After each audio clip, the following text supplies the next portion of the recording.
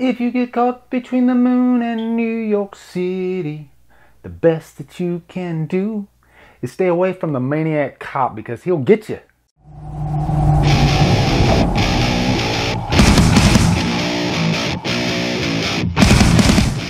Maniac Cop stars Bruce Campbell. Tom Atkins and is directed by William Lustig. What's up guys? Huge shout out time to my good friend Stephen Arthur who hooked me up with this movie, Maniac Cop, among so many others. He, he really went all out and I really appreciate having you as a friend, Stephen. Can't say enough about you as a person. But we're gonna review that movie right there, Maniac Cop. This is the first time I've ever seen this. I've never seen the second, never seen the third. I've heard the second one is even better than the first. So I'm looking forward to going through the whole trilogy with you guys. Also, I have to give a huge shout out since we're talking about a movie about police officers to Michael Mims. He's been a member of Killer Flicks for quite a while now. Really good friend, and he happens to be a police officer. Uh, I believe he works in New York, uh, which is where this movie is located or supposed to be located. But uh, he's just one of the funniest members and a hell of a cook. Hell of a cook. So if we ever have like a big Killer Flicks gathering, Michael, you will be the cook and the security guard. And he actually did send me a t-shirt too. Michael, I have to apologize. I have looked for that t-shirt all over because we, uh, right when he sent it to me, we were in the middle of this whole move. So it's somewhere in this house. But I wanted to give you this shout out. And when I find the shirt, I'll, I'll wear it in a review. But Maniac Cop is a really interesting premise and it touches on a hot button topic when it comes with cops and you know their safety. And if a cop is a good cop and he puts tons of criminals behind bars, and then he ends up going to jail himself, uh, if he ends up in jail with these criminals that he put behind bars, what is going to be the outcome of that? And that is the story here. Cordell is the cop in this movie that becomes the maniac cop, the killer. But he was a really good decorated cop. Then the system screwed him over sent him to jail, and then he was jumped and mutilated and supposedly killed. You know, he was within an inch of his death, and then he was brought back to life because he was still, his heart was still beating.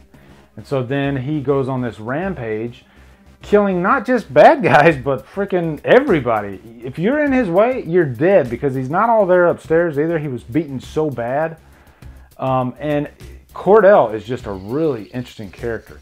That'll be my first pro here. Robert Z'Dar, who played the Maniac Cop, I couldn't think of a better guy to play just, you know, a really imposing and just physically demanding a character.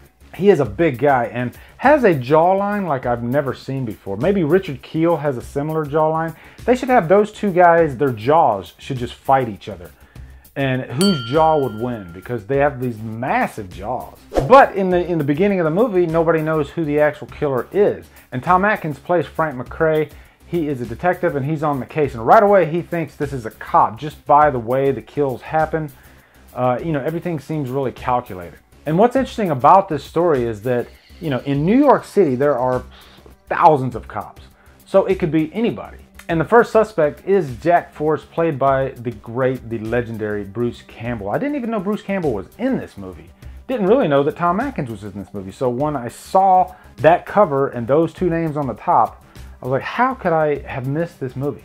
But Bruce Campbell is, he's Bruce Campbell. He's freaking great. He just has this way of delivering his lines that's a little bit different than every other actor. You know, he, he draws you right in. He almost has kind of a comedic delivery no matter what line he's given. I think that's why he is Ash. Nobody could play Ash like Bruce Campbell. But Bruce Campbell's great in this. But he is cheating on his girlfriend and then his girlfriend ends up dead, killed by the maniac cop, and so the prime suspect is Bruce Campbell. Now, one thing I love about this movie is the atmosphere, especially that first half. New York City in the 80s at night is a scary, scary place. And really, New York feels like a character in the movie. When you walk down the streets in New York City in the 80s, you are not safe. You better get behind closed doors because it's going to be your ass. And this movie doesn't waste time with the kills either. Right away, the maniac cop is doing his thing. And he's got this baton that uh, turns into a, this huge knife. And that's what he uses to kill his victims. So I like a slasher movie where the villain has like his own signature weapon and Maniac Cop does that. Now the third act in this movie gets pretty damn crazy especially that last scene where you got this like security truck and it goes over the uh, the dock into the water.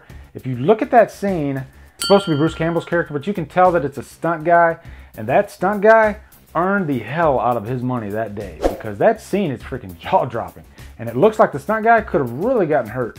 Now, as far as any cons for Maniac Cop, um, the acting is probably the biggest thing, but you know, a lot of those low budget 80s movies, like say, you know, some of the Friday the 13th movies, there's gonna be bad acting in there, but we, we give that a pass, you know? Us horror fans, we don't really care about that stuff as long as it doesn't get in the way of the movie, the flow of the movie. I mean, your standouts here are definitely Tom Atkins and Bruce Campbell.